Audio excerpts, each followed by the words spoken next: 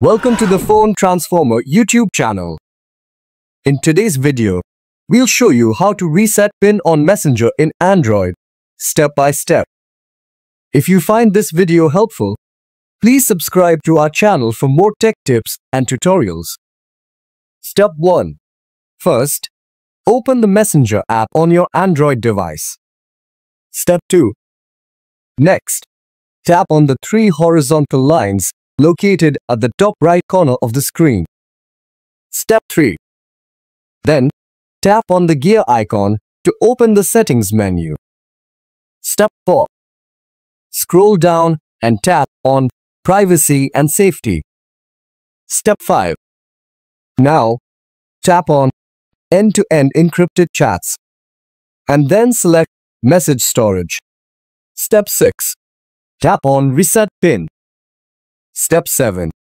Enter your new PIN to create it. Then enter it again to confirm. This will reset your PIN on Messenger. And that's how you can easily reset the PIN on Messenger in Android. If you found this video helpful, don't forget to like, share, and subscribe to our channel. Thanks for watching and see you in the next video.